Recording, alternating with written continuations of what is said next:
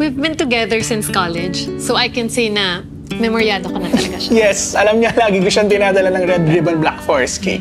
Every year yan ah. Since our first anniversary. We were happy in our little world. True. But then I thought we could be happier. So, how do I tell her something that's too big for words?